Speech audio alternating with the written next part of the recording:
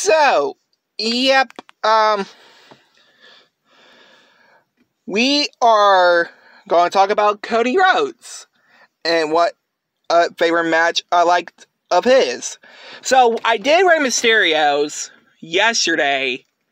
Then two days ago was Triple H. And now we're going to talk about Cody Rhodes' match in WWE.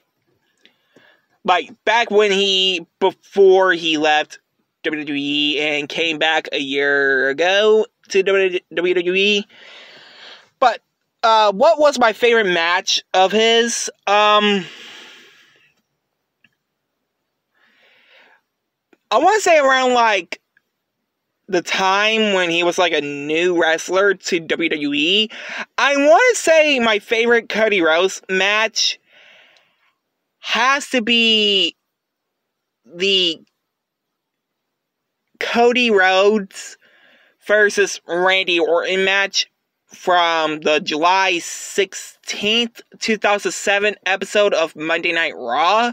Because, yes, he made his WWE debut that time, but I don't know if this was true or not, but there was a rumor that he did lose that match against Randy Orton. Again, I don't remember. I will have to re I will have to rewatch that match. But anyway, guys, if you guys like, comment, subscribe.